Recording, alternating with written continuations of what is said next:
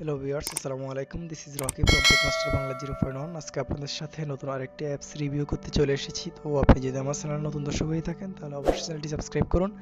আর যদি already subscribe করে থাকেন, তাহলে আপনাকে অসংখ্য ধন্যবাদ। তো আমরা আজকে যে বিষয়টা নিয়ে বিস্তারিত আলোচনা করব, আমাদের যারা অ্যান্ড্রয়েড ফোন ইউজার আছে, তারা অলওয়েজ অবশ্যই বিভিন্ন সোশ্যাল মিডিয়ার সাথে কানেক্টেড আছে, যেমন Facebook Messenger WhatsApp imo Twitter Instagram সব যতগুলা সোশ্যাল মিডিয়া আছে, সব সবগুলোর সাথে কম বেশি সবাই আমরা অ্যাক্টিভ থাকি।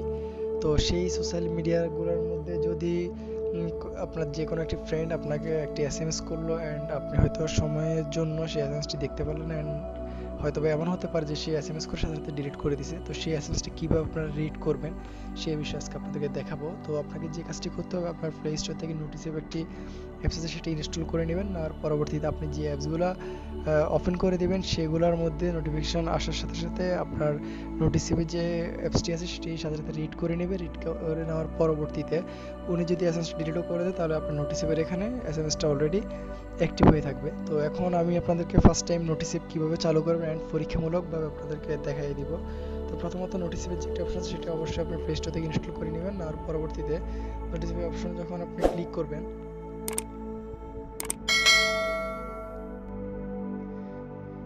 ক্লিক করার পরবর্তী এরকম একটি ইন্টারফেস আসবে। এখান থেকে আপনারা অপশনগুলো সিলেক্ট করে দিয়ে এলো করে দিবেন। এলো করে দেওয়ার পরবর্তীতে আপনার নোটিফিকেশনে যে একটা অপশন আছে, সেটা অবশ্যই নোটিফিকেশন অ্যাক্সেস থেকে আপনারা চালু করে নেবেন।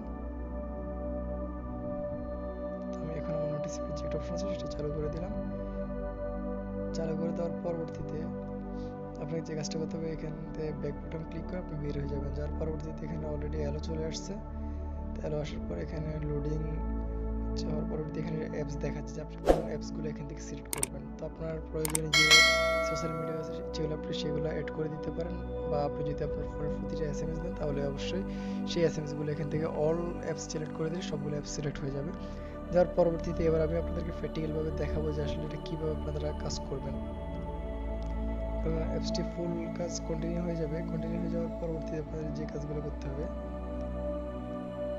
অলরেডি কন্টিনিউ হয়ে গেছে। কন্টিনিউ হয়ে যাওয়ার পর এবার আমি আপনাদেরকে দেখাবো। ধরুন আমি এখন আমার একটি ইমো অ্যাকাউন্ট থেকে আরেকটি ইমো অ্যাকাউন্টে এস এম এস করব। এস এম এস করে আপনাদেরকে দেখাবো যে কীভাবে আপনারা চেক করে নিতে পারবেন।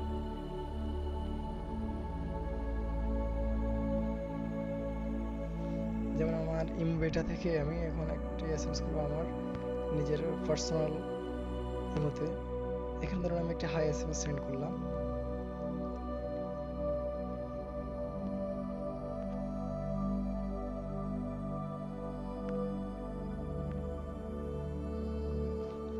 অলরেডি আমার ফোনে এস এম এসটি সেন্ড হয়ে গেছে। তো সেন্ড হয়ে যাওয়ার পরবর্তী আমি যে কাজটা করব, যেমন এখানে আমার যে এই অ্যাকাউন্ট থেকে আমি মেসেজটা ডিলিট করে দিব। অলরেডি ডিলিট করে দিছি ডিলিট করে দেওয়ার পরবর্তীতে এখন আমি যদি আমার যে পার্সোনাল একটি ইমেল আছে, সেখানে যাই। সেখানে গেলে অলরেডি দেখতে পাবো যে এখানে অলরেডি যে এস এম এসটা সেন্ড করেছে, সেটি ডিলিট হয়ে গেছে।